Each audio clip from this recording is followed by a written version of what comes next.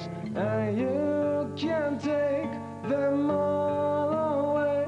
But every time you feel inside a love for this, you can't resist.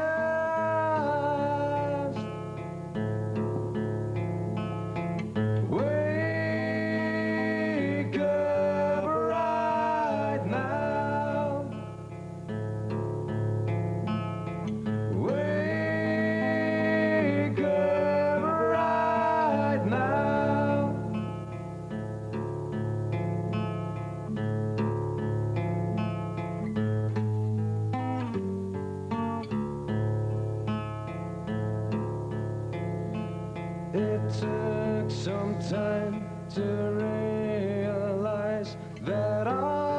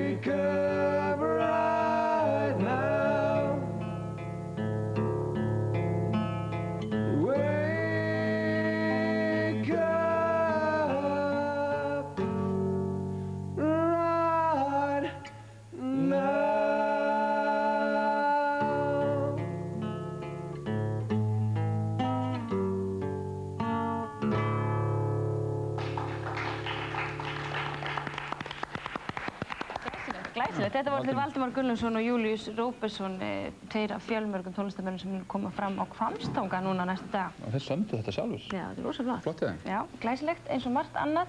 Nú, það er sest hjá okkur, sestir hjá okkur góðu gestir. Mm, komið sæl krakkar. Það er Elis Eyr, Sverrisdóttir, Kjartan Óli Ólafsson og Jóhanna Oppang, komið þið sæl. Segið nú okkur, hvað er þetta eldur í húnaþingi, svona í stórum dráttum? Elisa? Þetta er sem sagt hátíð sem ungt fólk í Húnaþingi vestra heldur og stendur á bakvið.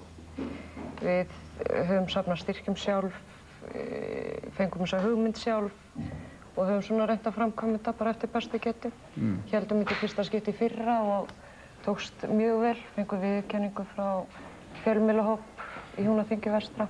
Já. Svo, já, Kjartan, uh, hvað hva rak ykkur út í þetta? Var, leitist ykkur eitthvað? Nei, ætla sér ekki aðra á það að, að það er bara bærin að tróðfutur af, af ungu listafólki og Já. það var kannski bara komin tími að sína öllum hvað í okkur býr Mm. og ég meina eldmóðurinn er þannig að ef þú byrjar á einhver þá koma allir með þér. Mm. Hvernig stendur á því allt þetta unga listafólk saman komið á þessum stað á landinu? Já, það er náttúrulega bara, Hvamstangi er mjög spes staður sko, þannig að það er alveg ótrúlegt með það að eh, fólk það flytur í burt og það menta sig, en það sér einhver ástæða til að koma tilbaka, það er náttúrulega, þetta er allir eru, eru frekar nánir og þekkjast vel og þetta er náttúrulega bara mjög indalt að búa þarna sko. Er, er þetta þá uppistaðan af þessu unga fólki? Er þetta fólk sem hefur farið í burtu og... og Sumir, Já. ekki allir. Og komið, komið tölvöld aftur? Já, það er fyrir að gera það núna sko. Jóhanna, þú ert með myndir með þér, rosalega fallega myndir sem þú Já. málar sjálf Jú. og þær verða á myndlistasýningunni. Já. Segðu okkur aðeins frá tilur þessara mynda. Já, það er nú bara, ég hef frekar mikinn áhuga á Afríku því að maður minnur frá Afríku. Og þannig að ég var með sýningu nýskið við Árbakkan og Blöndósi og þetta eru þær myndir og hérna, já, þessar. Ég ætla að fá þessa líka, ég ætla að lifta henni upp, þetta er svo ofsalega og fallega mynd. hérna, þannig að ég ákveð bara að hafa afrískt þema og ég nota listamannsnafni á Pong, það er nafn mannsins. Mis Mhm. og já, það er, Það er ekkert annað. Nei. Og síðan er það tónlistin öll sem við erum búin að fá smá pat af og svo er það tískusýning. já. Við erum með fantasíusýningu sem við köllum. Já. og þar e, sína tíu fatahönnur, e, föt sem þeirra hana sjálfur og sauma sjálfur. Uh, Við erum með body paint sem koma fram 11 mótel. Það var málaðar allir líka minn. Já, Já.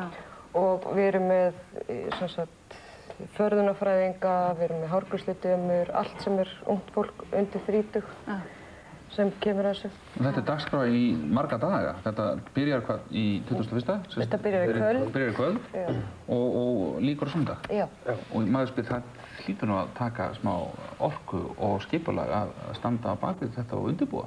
Jú, jú, það gerir það og en þetta verðist all, allt einhvern veginn smetla hérna bara undir restina, sko. Já, Já. það er nú oft þannig. En við erum með eh, brot af þessari hönnun sem verður sýnd á Fantasíu. Já. Tísku sýningakeppninni. Eða hvað, eða þetta er ekki, ekki keppni, þetta er bara Nei, sýning. þetta er bara Þetta er bara sýning, sýning, já, já. þetta er bara sýning. Og þetta er eftir allt hönnuði frá Hvamstanga. Já. Þetta er glæsilegt. Eh, Er þetta allt eftir sama hönnun? Nei, þetta er allt eftir sikkvot. Allt eftir eitthvað hönnun, já. Þannig að þetta er allt svona það sem unga fólki er að gera. Já. En svo sé ég eftir